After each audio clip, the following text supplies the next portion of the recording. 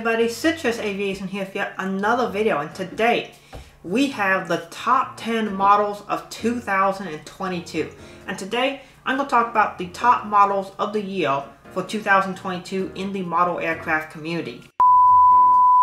Gonna wait for the police car to go by once again. There's a fire station just down the road over this way and because of that they come by on a fairly frequent basis when they're responding to emergencies. There goes an ambulance right there. So yeah, if you ever hear fire trucks and such in the background of any of my videos, it's because there's a fire station nearby and there's constantly EMS equipment fire trucks and such going in and out to respond to emergencies. So in today's video, I'm going to rank the top 10 models of 2022 based on the models that I myself have purchased. Now there are going to be a few candidates that we talk about that I did not buy. They'll be in the honorable mentions. But yeah, let's get started this list. And also, this is just my list. So if you have a list of models that you think deserves to be in the top 10, put them down in the comments below. Let me know which models you believe should be top 10. So we're going to start with number 10, which is the Virgin Atlantic Airbus 350-1000 by NG Models. So I was looking for a Virgin Atlantic A350-1000 because they fly into Atlanta Hartsfield Jackson International Airport and I need it for my model airport. And it's also a really cool aircraft I've seen in person in Atlanta. So it was a no-brainer pickup for me because of that. Now, at the time this model was released, I had three choices. I could get the new NG version that had just been released, the Aviation 400 version, that had also recently been released and had just come out to retailers, or I could get the older Gemini Jets version. I picked the NG models version because if you saw my Delta A350 comparison, I picked NG models as making the best A350 900 and therefore I wanted to give them the shot and A350 1000. So I got the Virgin Atlantic one and it is a super nice model. I'm very pleased with it. Again, sometimes the NG model's A350 mold seems really plain, but I realized that that's actually an advantage to this aircraft because it's super clean, really nice mold, and I'm really happy to have it as one of the top 10 models a year. I believe it really is dissolving of that, and NG Models makes the best A350. So if you're looking for an A350, NG Models is, I think, the way to go. They have a huge selection of A350s. They make them quite regularly, and you'd be very happy if you pick up one of the A350s. This Virgin Atlantic one is on the list because it's the one that I picked up this year, but they make a lot of great A350s that might suit your collection. At number 9, we do have a homo pick for me. This is the Delta Airlines 757-200 by NG Models. NG Models has for a long time made the best 757 ever since they introduced that mold. I want to say it's February 2018 is when they started making it. And they have made a bunch of really nice 757s. This one is the one I picked up this year there are a bunch of 7.5s NG has made. It is interesting that the 757 production has slowed down as they have made over 30 757s. In fact, I think they're over 50 now that they have made. And they've made so many versions that there aren't very many they haven't made. And so a lot of the ones they're making now are slight tweaks or variants of previous releases. This is one of them. This is the Delta 757-200. This is November 704 X-Ray, which was a former Transworld Airways 757 and then American sold it to Delta in the early 2000s. This aircraft is really, really nice, and it is the low density Generation 1 variant with winglets. And NG has made a couple Delta 75s before, but they haven't made any of winglets. This is the first of two they can make. They could also make the high density variant as well. They also did make a 75 with winglets was in the SkyTeam colors, but that aircraft is no longer in that livery. So this is the only 757 that they have made in the Delta Airlines colors that is currently in service. The other ones have all been retired and or repainted. It's a really nice representation. They sewed the SATCOM boxes in the correct locations and in the correct shape. NG has about five or six different SATCOM box shapes that they use and they'll place the correct shape on the correct aircraft and even shade it correctly, which is really nice and this model has been super nicely detailed. The one criticism I've seen people make about this model, which would be accurate, is that the engine shape is slightly off. Now initially when I reviewed an NG757 I did a comparison with the Gemini one. I thought the engine size was too small. Now that I've examined it more in detail with more time, it is the correct size. The shape is slightly off. They need to change the curvature of the engine just a little bit and it needs to be slightly shorter. In addition, the hot air exhaust portion of the engine needs to have that dark gray color kind of come up about halfway and then that will make it correct to the actual Pratt & Whitney 2037s that Delta has on their 75s. Other than that critique, the model is excellent. The detail is great, so is the crease between the cabin and the cargo compartment. The details are excellent. It's really, really good. And so therefore that ninth position. Coming in at eighth position, we have the American Airlines Airbus 321, also by NG Models. This is their newest mold that they have produced that I have picked up, the Airbus family. This and the uh, A350 both came out about the same time. And uh, this is their A321.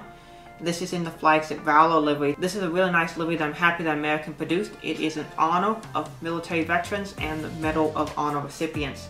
It's so cool that American made such a great livery and a great plane. And NG Models did a really nice version of it with their new mold, which I can say is outstanding. Their Airbus mold is excellent. I have really no complaints about. All the details are correct to an actual Airbus. I like how it shows the two section wing root. So a wing root for an Airbus actually has two sections. There's the main curvature, and then there's a second smaller curvature right where the wing comes in contact the fuselage that extends out into the fuselage a little bit. There's like a second layer of curve there, and NG models have shown that amazingly. The nose shape is basically perfect. I can't find a single flaw with this mold. It's basically exactly like an Airbus.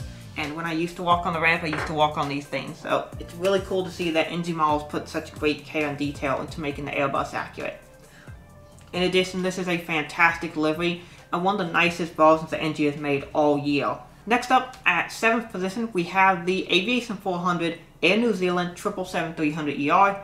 This was from a batch they announced last year and that they came out with this year in the summertime. So I'm really happy to finally get one.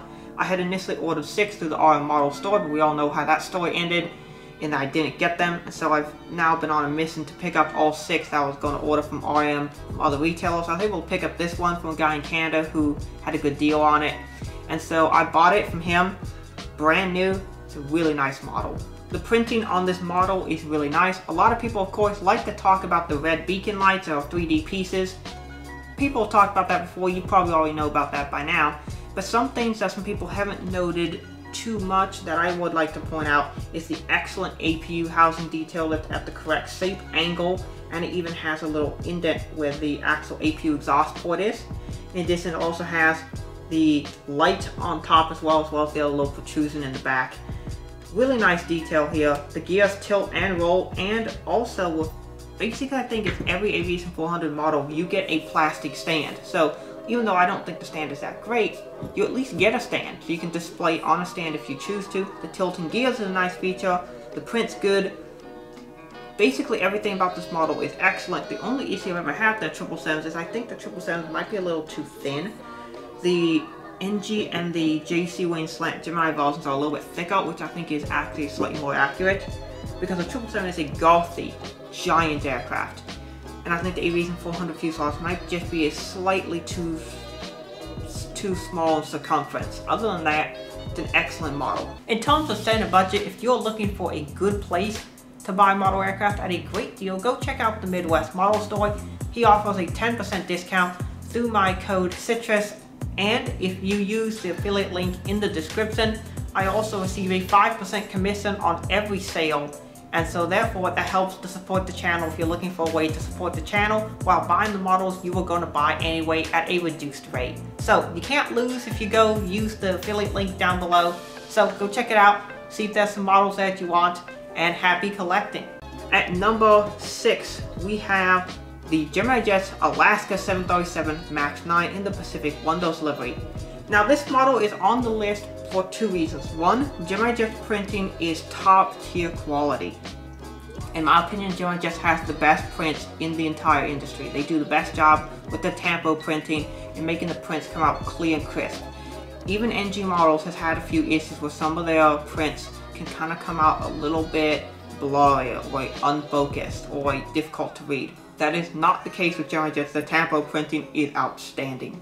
This model represents the Pacific Windows livery on the Alaska Max 9 super, super well. It is a gorgeous representation of that fantastic livery. In addition, this model has no QC issues. At least the one that I have has no QC problems. The engines are correctly leveled. The model is gorgeous. And the Gemini Jets Max mold is probably the strongest narrow body mold overall. Maybe the 7.5, but the 7.5 is a little bit outdated. This is a modern Gemini Slant JC Wings mold has no QC issues. The quality is excellent, and it's a really good model and I wanted to represent a Gemini Jets model on the list, and this one is really, really good. I've had no issues with this one, and therefore I can recommend it to people. Now, of course, your experience may vary. Of course, with any of these models, you might have QC issues, you might not. It just sort of is the reality of the industry nowadays.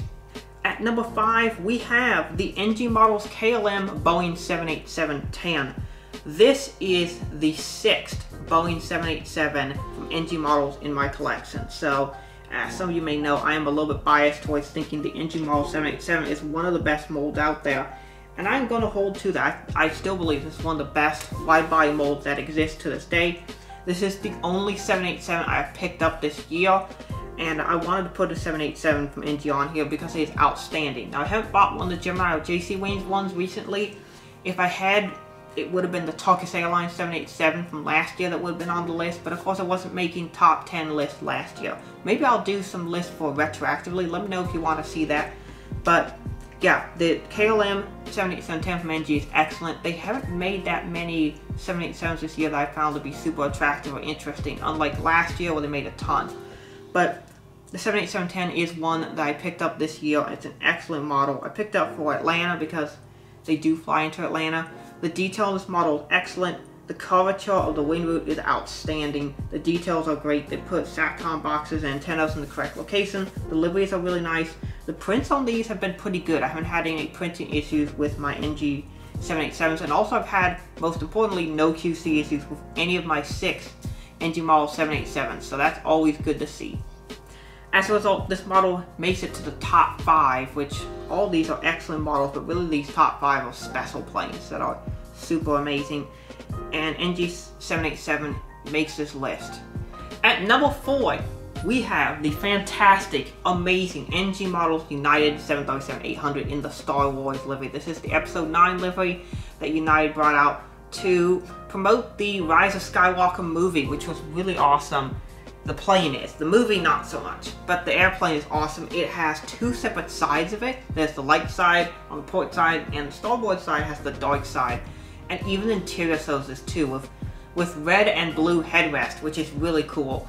I got to see this plane before it was retired in January 2022 got to walk inside of it. It was a great plane and a great representation of that model. The detail on here is outstanding, showing all the little details, the starfighters, the stars, the Rise of Skywalker text.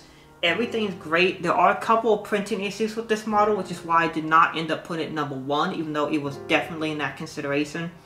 There's a couple issues with the lightsabers having some weird shading, like kind of an orange shading on Kylo Ren's lightsaber but overall an outstanding model, one that I recommend to people, particularly who are looking for a unique piece in their collection. Making it to the podium, we have number three, the Gemini Jets Emirates 777 300ER flaps down. Specifically the flaps down variant. I bought two models from this release set, both this Emirates 777 300ER and the American 777 300ER, which were both from this release set. These models are pivotal to my collection because I'm collecting a bunch of 777s. I want to get a lot of them, or at least most out of operation today. And I didn't have an or American, and they were both released at the same time. These were both part of the June 2022 releases, and they are outstanding models. There was a bunch of good models in that release set, but these were two of them Unfortunately, the American does not make it on this list because my version has a couple of little scratches that were on the wing. I was able to rub one off, but another one appears to be a glob of metal or something. And so that's not going to make it because of that issue. And so because the American failed, I picked up this Emirates one because I need it for the collection and I was hoping that it would make it into the video. And it met all the standards I was looking for. There's no QC issues. The print on Gemini Jets, as I mentioned, is top tier. And of course, the flaps down variant specifically is a model and feature that you can't get from any other manufacturer other than the Gemini JC Wings mold. And it looks so cool.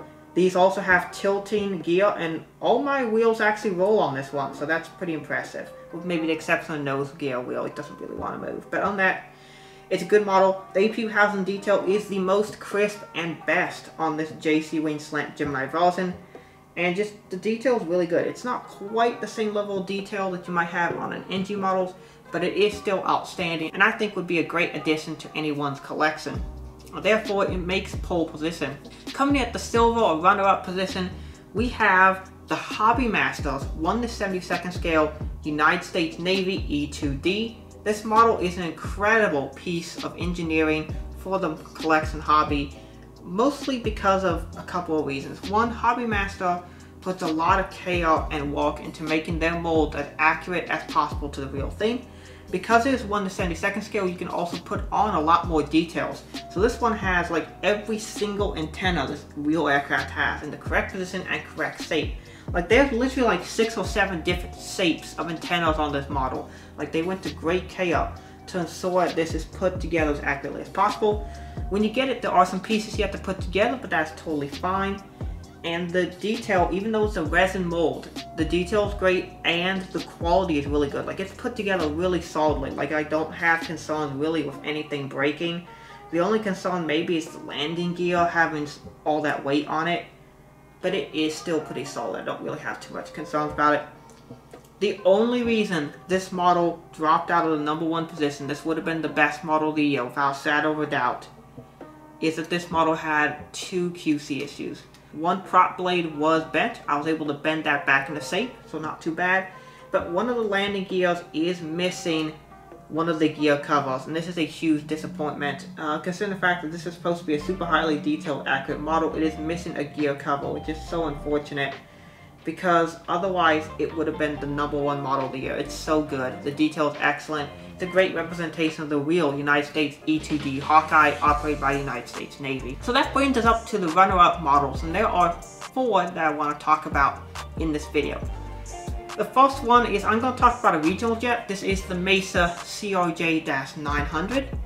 This is the new Gemini Jets mold that is basically an update version of their existing CRJ mold, which is really good, except they've added antennas. They've made two versions this year on the mold. They've made the Lufthansa in the current livery, and they've made the Mesa House CRJ 900. This particular Mesa House is the white one. They also have the more recent gray house colors, but this is the white one, and I assume at some point Gemini will make the gray one. It is a really nice mold and probably one of the best regional jet molds out there, and if you can get them without QC issues, they are great models. The next one I want to talk about is the NG Model 737-900. Now, in this video, there are shoutouts to all three 737 variants, and this one is the 737-900. This is the Continental Retro one that I picked up. Also, I would like to mention the United Continental Globe livery is great. I don't have that model yet, that'll be coming early next year, but this Continental Retro one is really nice. They've made a bunch of very nice 737-900s and this is another nice one. Two models I want to shout out that I don't have my personal collection yet, but are on order. We have the HYJL Wings Airbus 321 Air Canada. This one's a super nice model from everything I've heard and from the pictures I've seen. However, this model is not going to arrive in stock to retailers until next year. So it's a very good chance that that model will appear on next year's video and it did not arrive in time to make it onto this video and for me to inspect it. Um, if it had met my expectations and requirements, it would have been on the video and it would have made it onto the list. However, it did not arrive in time, therefore it will not be in the video. Same thing with the NG models Dream Take Flight 7879. Now I said a lot of 787s weren't that interesting this year. However, this Dream Take Flight livery which Boeing had as a house livery is such a nice livery. The detail is incredible and NG models transpose those details and incredible livery onto a model that is excellent. JC Wings made a version as well. However, the NG version from all I can tell seems to be better and therefore I'm excited to pick that one up and it'll be coming soon but I wanted to mention it here because if I had that one it probably would have been in the top three but because I don't have that one yet I can't put it in the video because I don't have a chance to inspect it yet. I have to look at all these models and determine if they are good because just because it looks good on pictures doesn't mean it's actually going to be a great model when you receive it. And so therefore, I couldn't give it a grade because of that. Of course, I should also give a shout out to the greatest disappointment of the year so far. This is the JC Wings Airbus Beluga. I was hoping this model would be amazing and pictures it looks great. However, my copy has a couple of issues I'm still trying to walk out. But once those issues all walked out, it'll be a great model. It just can't be one of the greatest models of the year due to a couple of QC issues that are quite significant, such as a wing coming off and one of the pegs for the interactive door being globbed up, so I have to kind of scrape that out and then the peg will go in no problem. That's still a QC issue that's quite significant. So that brings us on to the number one model of the year. My favorite model of the year, and I think the best one that has been made so far. It is the NG Models Boeing 737-700 in Southwest Missouri 1 Special Livery. This model is incredible. The Missouri 1 livery is already one of my favorite Southwest liveries, number 2 right behind New Mexico 1. And the NG Models version is excellent, using the outstanding Boeing 737 mold. It also has great print quality compared to a lot of the NG versions I've seen. This one has one of the better print qualities and the excellent level of detail on here is great. It is amazing how they detailed this model to look just like the actual Southwest plane that flies today. They did a great job of representing the Missouri 1 livery, which is a very complicated livery with the state flag of Missouri on it. They painted it onto this model, looks great, and it's in my opinion the best model of the year. So, congratulations NG Models for getting the best model of the year and for Missouri 1 which is one of my favorite aircraft in real life. The model is one of my favorite models. So, those are my top 10 models of the year. Let me know what your top 10 are down below. And before I take off for the end of the video, I wanted to show y'all something. This is the very first ever release that I sent as an aircraft dispatch. I recently got signed off and I had my first day walk as an aircraft dispatcher the day after I got signed off on my comp check and uh, I sent a release. Uh, one of the duty managers suggested that I print off my first ever release and frame it. So here it is. My first ever release is framed, signed in my own name, and this really is the culmination of quite some time of work. Really, this is the culmination of about six months of work to get to where I am today. I went to aircraft dispatch school, did that for five weeks, passed both the written and oral examination, then after that, I got hired at CommutAir to be an aircraft dispatcher. Went through the ground school, which took about a month. Then I was on the floor for two months, got signed off, and now I'm able to send releases in my own name as a full aircraft dispatcher. Not just as a dispatcher in name or as a certificate holder, but as an actual signed off dispatcher and airline. So I'm really happy about this achievement, and I wanted to share it with y'all for the before ending the video. So yeah, that'll be over here in the background. Eventually I'm going to hang it up here on the wall about where the Christmas tree is, but that is an achievement I'm very happy to have made. So, that being said, I want to thank you all so much for watching. Have a great rest of your day, and God bless you.